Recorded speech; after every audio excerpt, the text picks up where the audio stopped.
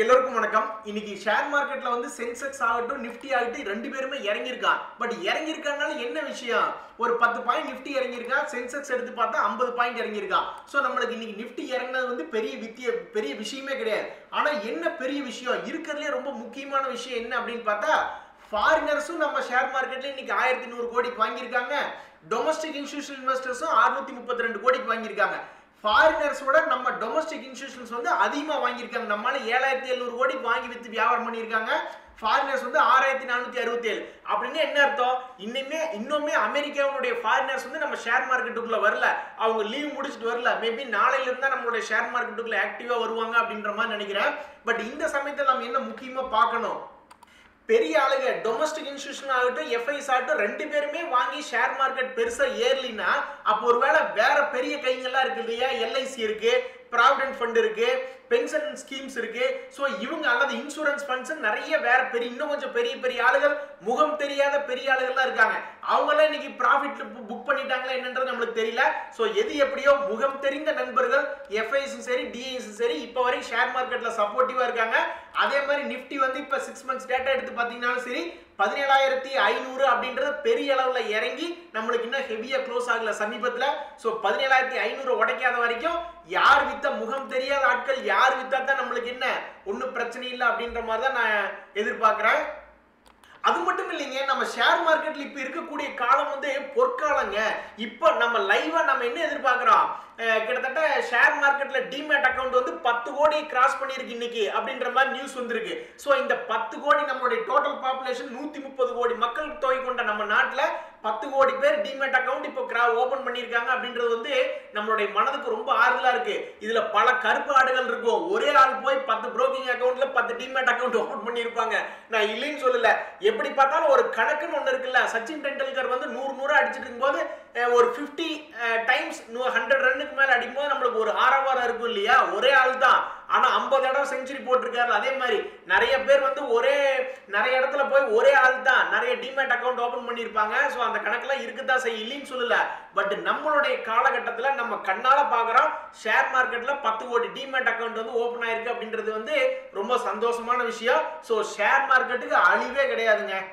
நண்பர்களே சமீபத்தில் நிறைய பெரிய அளவில் எதுவும் நெகட்டிவ் நியூஸ் இல்லை. க்ரூட தான் வந்து தொண்ணூத்தஞ்சு டாலருக்கு மேலே போனால் அப்புறம் அவனும் நீட்டி படுத்துட்டா பெருசாக நம்மளுக்கு பிரச்சனை இல்லை.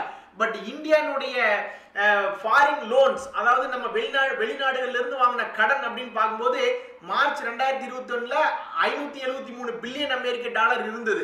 ஆனால் இப்போ என்னடான்னா அது உயர்ந்து அறுநூத்தி இருபது பில்லியன் அமெரிக்க டாலர் வந்து நம்ம கடன் வாங்கியிருக்கோம். பட் அமே கவர்மெண்ட்லேருந்து என்ன சொல்கிறாங்கன்னா இதெல்லாம் மோஸ்ட்லி வந்து ட்ரேட் வர்த்தக சம்பந்தப்பட்ட லோன் தாங்க. நாம் என்ன சாப்பாட்டுக்கு வழியினா போய் லோன் வாங்கியிருக்கோம் அப்படின்ற மாதிரி சொல்கிறாங்க அதுவும் இல்லாமல் பார்த்தீங்கன்னா எண்பது சதவீதம் இந்த அறுநூத்தி இருபது பில்லியன் அமெரிக்க டாலர் கடனில் வந்து எண்பது சதவீதம் வந்து நம்ம லாங் டேர்மில் தான் வாங்கியிருக்கோம். ஷார்ட் டேர்மில் இல்லைன்னு அதனால நம்மளுக்கு எதுவும் நெருக்கடி இல்லை அப்படின்ற மாதிரி சொல்லியிருக்காங்க. ஸோ இந்தியாவுடைய ஃபாரின் லோன்ஸ் வந்து கொஞ்சம் அதிகமாக தான் இருக்குது இதுக்கு இன்னொன்று என்ன எடுத்துக்கலாம்னா இந்தியாவில் வந்து எக்கனாமி நல்லா இருக்குது இந்தியா நம்பி கடன் கொடுக்குறதுக்கும் ஆளுங்க நிறையா இருக்குன்னு நம்ம எடுத்துக்க வேண்டியதுதான். நண்பர்களே நாம் இப்போ ரொம்ப முக்கியமான விஷயத்தை வந்து ஒன்று டிஸ்கஸ் பண்ண போறோம். எப்படி ஷேர் மார்க்கெட்ல லாஸே பண்ணாம இருக்கணும் அப்படின்றதுக்கு பல வழிகள் இருக்கு. அதுல ஒரு வழி என்னன்னா ஸ்டாப் லாஸை மாத்திக்கிறது. நம்ம இப்போ ஒரு எக்ஸாம்பிளோட காட்டுற பாருங்க. முதல்ல நம்ம எடுத்துக்கிற எக்ஸாம்பிள் வந்து பிவிஆர் ஷேர் நான் வந்து பிவிஆர் ஷேர் அப்படின்றது வந்து இருபத்தஞ்சாம் தேதி வாங்கின வாங்கி பன்னெண்டு நாள் ஆச்சு. அவன் திடீர்னு எக்கு தப்பா நம்மளுக்கு லாபத்தை கொடுத்துட்டான். அஞ்சு பர்சன்டேஜ் லாபம் அப்படின்னு கொடுத்துட்டான். நான் இருபத்தஞ்சாம் தேதி பன்னெண்டு நாளைக்கு முன்னாடி ஆயிரத்தி எட்நூத்தி நாற்பதுக்கு வாங்கும்போது நான் என்ன நினைச்சு வாங்கினேன்? சரி கீழே வந்ததுன்னா ஒரு ஆயிரத்தி எழுநூறுவா போனா தொலைது ஒரு அஞ்சு பர்சன்டேஜ் பத்து பர்சன்டேஜ் பணம் போனா தொலைது. ஸ்டாப் லாஸ் வந்து ஆயிரத்தி அறுநூத்தி தொண்ணூத்தி ரூபா வச்சுக்கலாம்னு சொல்லி நான் அப்ப எடுத்தேன். ஆனா பாருங்க ஒரு யோகா வந்து என்னாச்சு? மார்க்கெட் மேலே ஏறுறதுனால எனக்கு ஒரு அஞ்சு பர்சன்டேஜ் லாபம் அப்படின்றது கொடுத்துட்டான். அப்ப இப்ப நம்மளுடைய மெத்தட் என்ன? மாடிஃபை த ஸ்டாப் லாஸ் அதாவது ஒரு ஸ்ட்ராட்டஜி ஷேர் மார்க்கெட்ல என்ன சொல்றாங்கன்னா நீங்க ஒரு ஷேரை வாங்குறீங்க.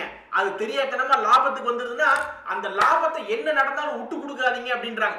எதுக்குங்க உங்களுக்கு வந்த லாபத்தை நீங்க விட்டு கொடுக்குறீங்க அப்படின்றாங்க. அதுக்கு என்ன அர்த்தம்? ஸ்டாப் லாஸ் வந்து நம்ம வந்து வாங்கின ரேட்டுக்கே ஒன்று ஸ்டாப் லாஸ் போட்டுடணும் அதாவது ஆயிரத்தி எட்நூத்தி நாற்பதுக்கு வந்தேன். இப்போ மறுபடியும் அது ஆயிரத்தி எட்நூத்தி நாற்பது வந்தாலும் எனக்கு கவலை இல்லை அப்படின்ற மாதிரி ஸ்டாப் லாஸை வாங்கின ரேட்டுக்கே ஒன்று போடணும். இல்லையா? அஞ்சு ஷேர் வாங்கியிருக்கோமா? அதில் ஒரு ரெண்டு ஷேர் பார்ஷியலாக ப்ராஃபிட் புக் பண்ணி விடுங்க அப்படின்றாங்க. இதே வந்து உங்களுக்கு இன்னொரு ஷேர் சொல்றேன் பாருங்க. இன்னைக்கு நான் வந்து பார்த்துக்கிட்டே இருந்தேன். எவன்டா வீக்லி பிரேக் அவுட் பண்ணா?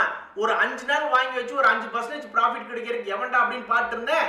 பிஎன்பின்னு ஒரு ஷேர் வந்தான் ஸோ இந்த பிஎன்பி ஷேர் வந்த உடனே நான் என்ன பண்ணேன்? முப்பத்தேழு இருபத்தஞ்சுக்கு வாங்கினேன். அவன் வாங்கினோடனே எனக்கு நஷ்டத்தில் தான் இருக்கான். இதில் எப்படி நான் வாங்கின விலைக்கே ஸ்டாப் லாஸ் போட முடியும்? அதனால கீழே போனால் ஒரு ஐநூறுரூவா ஸ்டாப் லாஸ் வச்சுக்கோன்னு முப்பத்தஞ்சு ரூபா ஸ்டாப் லாஸ் வச்சிருக்கேன். அப்போ இதுல இருந்து என்ன தெரியுது?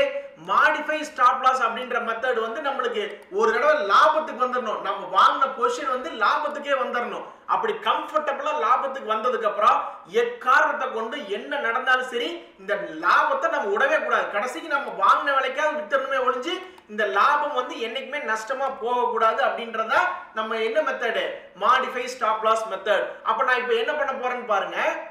ஜீரோதால ஜிடிடின்னு ஒரு அற்புதமான ஒரு மெத்தட் ஒன்று இருக்கு. அப்ப நான் என்ன பண்றேன்? இந்த பிவிஆர் அப்படின்றத கிளிக் பண்ணி கிரியேட் குட்டில் கேன்சல் குட்டில் ட்ரேட் அப்படின்ற ஆர்டர் மெத்தட் அது. அதில் போய் நான் என்ன பண்றேன்? இங்க பாரு நான் அஞ்சு ஷேர் வச்சிருக்கேன். அது எப்போ வந்து நான் வாங்கின ரேட் ஆயிரத்தி எட்நூத்தி அறுபது? ஆயிரத்தி எட்நூத்தி நாற்பது சரி ஒரு இருபது ரூபா ப்ரோக்கரேஜ் சார்ஜஸ் எல்லாம் சேர்த்து வச்சுக்குவோம். அது எப்போ ஆயிரத்தி எட்நூத்தி அறுபது வருதோ அப்ப தயவு செய்து வித்து விட்டுரு. அப்படி ஆயிரத்தி எட்நூத்தி அறுபது ட்ரிகர் ஆகி கீழே ஆயிரத்தி எட்நூத்தி நாற்பதுக்குள்ள ஏதாவது ஒரு ரேட்ல வித்து விட்டுரு. அது மோஸ்ட்லி ஆயிரத்தி எட்நூத்தி அறுபதுக்கோ ஐம்பத்தொன்பதுக்கு தான் விற்கும். இருந்தாலும் ஒரு சேஃப்டிக்கு ஆயிரத்தி எட்நூத்தி நாற்பது வரைக்கும் போட்டு வச்சிருக்கேன். ஸோ அந்த மாதிரி போட்டு விட்டுன்னு மிக எளிமையா ஒரு ஜிடிடி ஆர்டர் போட்டு நான் என்ன பண்றேன்? எனக்கு வர்ற லாபத்தை காப்பாத்திக்கிறேன் அப்படின்னு என்ன அர்த்தம்? ஷேர் மார்க்கெட்ல நான் எடுத்த ட்ரேட்ல இப்போ எனக்கு லாஸே வராது அப்படின்ற மாதிரி ஒரு அர்த்தம். ஸோ மாடிஃபை ஸ்டாப் லாஸ் அப்படின்றது ஒரு மெத்தட் ஷேர் மார்க்கெட்ல நம்ம நஷ்டமே அடையாத இருக்கு. இதே நீங்க நிஃப்டி பீஸ் எல்லாம் பார்த்து கேட்கலாம். ஏன் தியாகு நீ நிஃப்டி பீஸ் எல்லாம் வாங்கி வச்சிருக்க? அது ஸ்டாப் லாஸே போடல. எப்படி அப்படி நீ தைரியமா உட்காந்துருக்கீங்கன்னா அது ஒரு இண்டெக்ஸ் நிஃப்டி பீஸ் வந்து நிஃப்டி இண்டெக்ஸை ஃபாலோ பண்ணுது. அதனால ஸ்டாப் லாஸ் போடணுன்ற அவசியம் இல்லைன்றது என்னோட எதிர்பார்ப்பு. நண்பர்களே இப்போ சமீபத்தில் ஷேர் மார்க்கெட்டில் ஃபோக்கஸாக இருக்கக்கூடிய சில ஷேர்ஸை பார்க்கலாம். அதில் ஃபர்ஸ்ட் நம்ம பார்க்கறது பி ஃபைசர் பி ஃபைசர் என்ன சொல்கிறா ஒரு ஷேருக்கு நான் முப்பது ரூபா டிவிடெண்ட் கொடுக்குறேன் ஸ்பெஷல் டிவிடெண்ட் கொடுக்குறேன்றான். ஆனால் அப்போ அந்த ஷேர் எடுத்து பார்க்குறேன். ஸ்பெஷல் டிவிடன் கொடுக்குற அளவுக்கு இவனுடைய லாபமெல்லாம் பண்ணுறான்னு வச்சுக்கிடுவோமே. பட் ஷேர் மார்க்கெட்டில் இவன் என்ன பண்ணியிருக்கான்னு பார்த்தா கடந்த ஒரு வருஷத்தில் நம்ம எடுத்து பார்த்தோம்னு வச்சுக்கோங்க. ஆறாயிரம் ரூபாய் இருந்தவன் நாலாயிரத்தி முந்நூறுன்னு இறங்கியிருக்கான். இருபத்தெட்டு பர்சன்டேஜ் ப்ரைஸில் இறங்கியிருக்கான். இருந்தாலும் இவன் என்ன சொல்கிறான் நான் வந்து உங்களுக்கு ஒரு ஸ்பெஷல் டிவிடெண்ட் ஒரு ஷேருக்கு முப்பது ரூபா அப்படின்ற மாதிரி கொடுக்குறேன்றான். அப்போ இது என்ன ஸ்பெஷல் டிவிடெண்ட் அப்படிங்கிறது என்னன்னா ஒரு வருஷம் பூரா நம்ம லாபம் பண்ணி நம்ம கணக்கு வழக்கெல்லாம் பார்த்து க்ளோஸ் பண்ணதுக்கப்புறம் கொடுக்குற டிவிடெண்ட் வந்து ஃபைனல் டிவிடெண்ட் ஆனா பாருங்க திடீர்னு மூணே மாசத்துல திடீர்னு ஒரு லாபம் வருது. ஒவ்வொரு குவார்டர்லயும் லாபம் வருது அப்படின்னா எனதுக்கு கடைசி மா மாசம் வரைக்கும் மார்ச் எண்டு வரைக்கும் வெயிட் பண்ணணும்? அதான் இந்த குவார்டர்லயே லாபம் இருக்குல்ல. அந்த அந்த லாபத்தை ஷேர் ஹோல்டர் கொடுப்போம் பாவம். சந்தோஷமா இருக்கட்டும் அப்படின்ட்டு கொடுக்குற டிவிடெண்டுக்கு பேர் தான் இன்ட்ரிம் டிவிடெண்ட் அதாவது கணக்கு வழக்கு முடியறதுக்கு முன்னாடியே முழு ஆண்டு கணக்கு முடியறதுக்கு முன்னாடியே காலாண்டு கணக்கை வச்சு இல்ல ஏதாவது ஒரு பொருளை விற்கிறாங்க ஏதாவது ஒரு அசட்டை விற்கிறாங்கன்னா கண்டிப்பா உள்ள பணம் வருதுன்னு தெரிஞ்சதுக்கு அவ்வளோ நாள் ஏன் போய் வச்சிருக்கணும்? உடனே பணத்தை கொடுக்குமேன்னு கொடுக்கறதா இன்ட்ரிம் டிவிடெண்ட்டு அப்படி ஒரு ஸ்பெஷல் டிவிடெண்ட்டை தான் இந்த பி ஃபைசர்ன்றவ கொடுத்துருக்கா. என்னைக்கு தான் இந்த மாதிரியான க- நல்ல கம்பெனிகளுக்கெல்லாம் காலம் பிறக்கும்னு தெரியல. ஸோ இந்தியாவிலேருந்து இயங்கக்கூடிய இந்திய மருந்து கம்பெனியாக இருந்தால் என்ன? அல்லது ஃபாரின் ஃபார்மா கம்பெனி என்ன? ஃபார்மா செக்டர்னாவே பொதுவாக இறங்கி தான் இருக்கான் பட் இருந்தாலுமே அவங்க லாபகரமாக தான் இருக்காங்க. ஷேர் மார்க்கெட்டில் தான் இறங்கியிருக்கு. அதுவும் ஃபைவ் இயர் டேட்டா எடுத்து பார்த்தீங்கன்னா ஒன்றும் பெரிய இறக்கம் இருக்காது. அஞ்சு வருஷத்தில் பார்க்கும்போது பார்த்தீங்கன்னா இந்த ஃபார்மா பி ஃபைசர் போவோம் ஒரு நிமிஷம். ஸோ பி ஃபைசர்னுடைய ஃபைவ் இயர் டேட்டா எடுத்து பார்த்தோம்னு வச்சுக்கிட்டுங்களேன் அவன் மேலே ஐயாயிரத்தி அறுநூத்தி தொண்ணூத்தெண்டுலாம் போயிருக்கான். கீழே ரெண்டாயிரம் ரூபாயிலிருந்து ஏறினவன் தான். ரெண்டாயிரத்தி பதினேழுலேருந்து கணக்கு பார்த்தா பார்க்கலாம் ஃபார்மலில் ஒரு நல்ல காலம் பிறக்கட்டும். சில ஷேர்லாம் டே நீ எல்லாம் ஷேர் மார்க்கெட்ல உள்ளதான் இருக்கியா? அப்படின்ற மாதிரி இந்த ப்ளூ ஸ்டார் கம்பெனி அப்படின்றதெல்லாம் பாத்தீங்கன்னு வச்சுங்களேன் ஃபைவ் இயர் டேட்டா எடுத்து பார்த்தோன்னா உச்சாணி கொம்புல இருக்கான். ஒன் இயர் டேட்டா எடுத்து பார்த்தாலும் கிட்டத்தட்ட கீழே இறங்கினவன் எட்நூத்தி தொண்ணூத்தாறு ரூபாய் இறங்கினவன் ஆயிரத்தி நூறுரூவான்னு வந்துட்டான். ஸோ ஷேர் மார்க்கெட்ல நம்ம கண்ணுக்கே தெரியலனாலும் அவன் மோசமானவன் கிடையாது. இன்னைக்கு ப்ளூ ஸ்டார் சம்பந்தமா ஒரு நியூஸ் வந்துச்சு. இந்த மாதிரி பெங்களூர் மெட்ரோ ரயில்ல இருந்து முன்னூத்தி தொண்ணூறு கோடிக்கு உண்டான ஒரு சின்ன ஆர்டர் கிடைச்சிருக்கு அப்படின்ட்டு. அந்த மாதிரி நியூஸ் கிடைக்கிறப்ப தான் நம்ம இந்த நல்ல ஷேர்ஸ்ல எடுத்து பார்க்குறோம். எடுத்து பார்க்கும்போது அவன் வந்து பெரிய பெரிய டிசிஎஸ் இன்ஃபோசிஸை விட லாபகரமாக தான் இருந்திருக்கான். கீழே பாருங்க எட்நூத்தி எழுபத்தாறு ரூபா போனவன் ஷேர் மார்க்கெட் மேலே ஏறி வரும்போது அவன் பழைய ஹையான ஆயிரத்தி நூறுரூவாய்க்கே வந்துட்டான் பார்த்தீங்களா ஸோ நம்ம கண்ணுக்கு தெரியல அப்படிங்கிறக்காக அவன் மோசமான கம்பெனின்னு கிடையாது. அவன்லாம் நல்ல ஸ்டாண்டர்டான கம்பெனி நியூஸ் வந்தா தான் நம்ம கண்ணுக்கே தெரிய வர்றானுங்க. இந்த அதானிக்கு அந்த அதானி குரூப் பார்த்துருக்கீங்களா?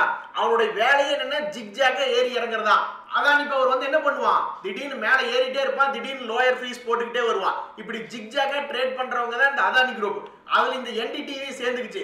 என்டிடிவி இப்போ எடுத்து பார்த்தோம்னு வச்சுக்கிடுங்களேன். இந்த என்டிடி அவன் பாட்டு ஒரு ஓரமாக நின்று விளையாண்டு இருந்தான். திடீர்னு இந்த என்டிடியை வந்து இவங்க வாங்குற அப்படின்ட்டாங்க. யாரே இந்த அதானி குரூப் வாங்குறேன்னு சொன்னோன்னு என்னன்னா அவன் பாட்டுக்கு திடீர்னு அப்பர் ஃபீஸ் ஆக ஆரம்பிச்சிட்டான். தொடர்ந்து அந்த நியூஸ் வந்ததுக்கப்புறம் முந்நூற்றி அறுபத்தாறு ரூபாயிலிருந்து எவ்வளோ தூரம் போனான்? ஒரு ஐநூத்தி எழுபது ரூபா போனான் ஐநூத்தி எழுபது ரூபா போனதுக்கு அப்புறம் என்னாச்சு? எப்பவுமே இந்த ஜிக்ஸாக் அதானி குரூப்ல நடக்கிறதா? நல்ல ஒரு ப்ராஃபிட் கொடுப்பாங்க. அப்புறம் ஒரு நாலஞ்சு நாள் லோயர் ஃபீஸ் ஆகும். அப்புறம் திரும்பி மறுபடியும் அப்பர் ஃபீஸ் ஆகி போக ஆரம்பிச்சிட்டே இருப்பா.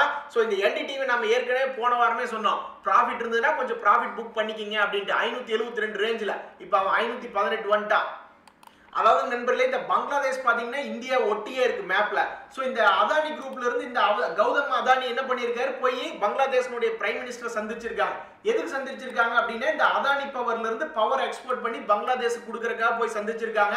ஸோ அதனாலதான் இன்னைக்கு அதானி பவர் ஃபைவ் பர்சன்டேஜ் ஏறியிருக்கான். அதானி பவர் அதே மாதிரி தான் என்ன பண்ணுவான்? ஜிக்ஜாக். அதானி பவர் அப்படியே மேலே ஏறிட்டே இருப்பான். திடீர்னு அப்புறம் கொஞ்ச நாளைக்கு கீழே டவுன் ஃப்ரீ லோயர் ஃப்ரீஸ் ஆவானு அப்புறம் மறுபடியும் மேலே ஏறுவானு. ஸோ அதானி குரூப்னாவே ஜிக்ஜாக் தான். அதில் இந்த என்டிடிவி சேர்ந்துட்டான். அதானி பவர் இன்னைக்கு ஏன் மேலே ஜிக்ஜாக்கா அப்பர் ஃப்ரீஸ் ஆனான்னா இந்த பங்களாதேஷுக்கு பவர் கொடுக்குறாங்க அப்படின்ற ஒரு காரணம் தான். நண்பர்களே ஷேர் மார்க்கெட் வந்து ரொம்ப சிம்பிளானது எளிமையானது. ஒரு நல்ல ஷேரை தொடர்ந்து நீங்க நம்பிக்கையோட வாங்குறீங்க அல்லது நிஃப்டி இண்டெக்ஸ்லேயே தொடர்ந்து முதலீடு பண்றீங்கன்னா என்னைக்கு வேணாலும் லாபம் வரலாம். இந்த டாடா பவர் செல்லக்குட்டி திடீர்னு இன்னைக்கு நாலரை பர்சன்டேஜ் ஏறிட்டா எனக்கு சந்தோஷம் ஆயிடுச்சு ஏன் அப்படின்னா நான் அவனை இரநூத்தி எண்பத்தஞ்சு ரூபாய்க்கு ஒரு இடம் வாங்கினேன். அதுக்கப்புறம் அவன் கீழே இரநூறுவாயிலும் போனான். நான் அந்த இடத்துல ஏவரேஜ் பண்ணல. நான் இரநூத்தி முப்பதுல ஒரு ஏவரேஜ் பண்ணியிருந்தா பாருங்க இப்போ எட்நூத்தி அறுபது ரூபா லாபம்னு காட்டுறான். நேத்து வாங்கின நேத்து க்ளோசிங் ப்ரைஸ்க்கே அப்ப இன்னைக்கு வந்து இன்னுமே லாபம் கொஞ்சம் அதிகமாக தான் இருக்கும். இப்படிதாங்க நம்ம கில்லி மாதிரி ஏவரேஜ் பண்ணி ஏவரேஜ் பண்ணி மேலே வரணும். நல்ல கம்பெனியா இருந்தால் ஏவரேஜ் பண்ணதுக்கு ஒரு பலன். இல்லைன்னா கும்பாதான். நண்பர்களே சுஸ்லான் தொடர்ந்து ஒரு நல்ல நியூஸா வந்துட்டு இருக்கு இந்த நியூஸை வச்சு எப்படி இருந்தாலும் டபுள் ஆயிடுவான். அதுக்கப்புறம் நீட்டி படுத்துக்குவான்னு வச்சுக்கிடுங்களேன். இப்போ என்ன நியூஸ் வந்திருக்குன்னா இந்த மாதிரி நூத்தி எண்பத்தோரு மெகாவாட்டுக்கு வந்து ஒரு நியூ வின் பவர் ப்ராஜெக்ட் கிடைச்சிருக்கு அப்படின்றாங்க. எப்படியோ நல்லா இருந்தா சரிதான். அம்புஜா சிமெண்ட். அவன்லாம் என்னைக்குங்க குப்பு குப்புன்னு மேலே ஏறி இருக்கா? இப்போ அதானி கை வச்சோடனே திடீர்னு பார்த்தா நான் இன்னைக்கு எவன் மேலே புல்லிஷா பிரேக் அவுட் ஆயிருக்கான்னு ஃபில்டர் கண்டிஷன் போட்டு ரன் பண்ணி பார்க்குறேன். நம்மளுடைய ரேடார்ல அம்புஜா சிமெண்ட் வந்து விழுந்திருக்கா? எல்லாம் அதானி கை வச்சதா? ஸோ அம்புஜா சிமெண்ட் யாராவது வச்சிருந்தீங்கன்னா சந்தோஷப்பட்டுக்க வேண்டியதான் இந்த டிடிஎம்எல் வந்து ஸ்வயங்கின்னு கீழே போயிருக்கான் இவனை நம்பாதீங்க அப்படின்ற மாதிரி நம்ம பேசியிருந்தோம். பட் மனித உணர்வுகளோட விளையாடுறதே இந்த டிடிஎம்எல்க்கு எல்லாம் போச்சு. அவன் பாட்டுக்கு மேல அப்பர் ஃபீஸ் ஆனா டெய்லி அப்பர் ஃபீஸ் ஆகி முந்நூறுரூவா போக வேண்டியதானே கீழே இருந்து கொஞ்சம் தூரம் மேலே போயிட்டு மறுபடியும் இறங்கிட்டா இப்போ சார்ட் பாருங்க. பாருங்க நீங்க டிடிஎம்எல் வந்து ஏழு பர்சன்டேஜ் இறங்கியிருக்கான். இப்போ இந்த ஒன் மந்த் டேட்டான்னு எடுத்து பார்த்தோம்னு வச்சுங்களேன் கீழே தொண்ணூறு ரூபாயிலிருந்து மேலே நூற்றி முப்பத்தஞ்சு ரூபா வரைக்கும் ஹை காட்டுறான். இப்போ என்னடான்னு பார்த்தா நூற்றி இருபத்தி மூணு ரூபாய்ன்னு காட்டுறான். எல்லாமே கொஞ்சம் ரிஸ்க் தாங்க. அதுலேயும் ஃபைவ் டேஸ் டேட்டா போட்டு பார்க்குறேன் நூற்றி நாற்பத்தேழு வரைக்கும் ஹை போனவே இப்போ நூற்றி இருபத்தி மூணு காட்டுறான். ஸோ டிடிஎம்எல்ல ட்ரேட் பண்ணுறவங்களா இருந்தால் அல்லது இன்வெஸ்ட்மெண்ட் பண்ணுறவங்களா இருந்தால் இவன் ஐம்பது ரூபாய்க்கு முந்நூறு ரூபாய்க்கு ட்ரேட் ஆவான் அப்படின்ற மாதிரி ஒரு ரேஞ்ச் மனசில் வச்சுக்குங்க. சில கமெண்ட்ஸ் வந்து படிக்க சொல்லியிருந்தீங்க. அது பார்க்கலாம். ஒரு நண்பர் என்ன சொல்கிறாருன்னா கையில் இருக்கிற எல்ஐசி சேரை வித்துட்டீங்களா? அது விலை ஏற போ வாய்ப்பு இருக்குது அப்படின்றாரு. நான் இன்னும் விற்கலிங்க மேலே ஏறி வந்துட்டா உங்களுக்கு ஒரு ட்ரீட்டுங்க ஒரு ஆயிரம் ரூபா வந்துட்டா சந்தோஷம் தான் ஸோ பாலசங்கர் உங்களுடைய வாக்கு பழிக்கிட்டோ பழிச்சா நிறைய நான் மட்டும் இல்லை ஏகப்பட்ட பேர் சந்தோஷப்படுவாங்க. நண்பர் ஒருத்தர் வந்து டாடா எல்சினுடைய சப்போர்ட் லெவல் சொல்லுங்க அப்படின்னு கேட்கிறார் ஏங்க யாருக்காவது ஞாபகம் இருக்கா? நான் வாயை வச்சு சொல்லல. பட் சார்ட்டை பார்த்தா சொன்ன உடனே தியாகு வாயில சொன்னாருன்ற மாதிரி சொல்லிடாதீங்க. கரெக்டாக இந்த டாடா எல்சி வந்து பத்தாயிரத்துக்கு பக்கத்தில் இருக்கும்போது நான் சொன்னேன். அட இது ஒரு ப்ராஃபிட் புக்கிங் ஜோனுங்க இங்கே வித்து விட்டுருங்க. லாபம் வந்தால் வித்து விட்டா மேபி கீழே வந்தால் பை பண்ணிக்கலாம். இவனுடைய பேட்டர்னே அந்த மாதிரி தாங்க இருக்கு அப்படின்ற மாதிரி சொல்லியிருந்தோம். அதே மாதிரி அவன் பத்தாயிரம் ரூபாயிலிருந்து கீழே இப்போ எட்டாயிரத்தி எட்நூறுவாயில் வந்து ட்ரேட் ஆகிட்டு இருக்க அந்த டாடா எல்சி என்னை பொறுத்த வரைக்கும் இது ரெகுலராக சப்போர்ட் அப்படின்றது இப்போ சப்போர்ட் எடுக்க வேண்டிய லெவல் தான். எட்டாயிரத்தி எட்நூறுலேருந்து எட்டாயிரம் வரைக்கும் ஒரு சப்போர்ட் லெவல் தான். ஆனால் என்னைக்கு இவன் ஏழாயிரத்தி அறநூறை கட் பண்ணுறானோ அன்னைக்கு அவனை விட்டு போட்டு ஓடி வந்துடணும். ஏன் அப்படின்னா இப்ப நிறைய பேர் அதுல நெகட்டிவ் நியூஸ் மாதிரி சொல்றாங்க. சில அனலிஸ்ட் எல்லாம் வந்து டாடா எல்சில வந்து அவங்க வாயில விழுகுது அடுத்த வாய் அனலிஸ்ட் வாயில போய் அது விழுந்தா அப்புறம் என்ன ஆகும் அதை ஏதோ ஒன்றை யோசிச்சு தான் அவன் சொல்லுவான். ஏதாவது ப்ராஃபிட் மார்ஜின் கம்மியாகும். ஏதாவது ஒன்றை கணிச்சு சொல்றானுங்க. அப்ப அவனுக்கு கணிச்சு சொல்லும் போது இந்த ஏழாயிரத்தி அறுநூறுன்றது ஒரு சப்போர்ட் லெவல் எட்டாயிரத்துல இருந்து ஏழாயிரத்தி அறுநூறு வரைக்கும் சப்போர்ட் லெவல் அங்க வந்து தொட்டுட்டு ரப்பர் மாதிரி பல தடவை அந்த சப்போர்ட் லெவல் தொட்டு தொட்டு செவுத்துல அடிச்ச பந்து மாதிரி மேல போயிருக்கா. இந்த தடவை மேல போயிட்டான்னா சந்தோஷம். இல்லைன்னா தயவு செய்து லாபத்தை புக் பண்ணிருங்க. ஏழாயிரத்தி அறுநூறுல அதுக்கு கீழே உடச்சு க்ளோஸ் ஆச்சுன்னா. அதுக்கப்புறம் திரும்பி மேலே போனானே என்ன பண்ணலான்னு கேட்குறீங்களா குரங்கு மாதிரி மறுபடி தாவி மறுபடி போய் பை பண்ண வேண்டியதா? ஷேர் மார்க்கெட்டுங்கிறது அவ்வளோதான் ஸோ இன்றைய தகவல்லாம் உங்களுக்கு உதவியாக இருந்தால் எனக்கு சந்தோஷம் தான் ரொம்ப நன்றி. வணக்கம்.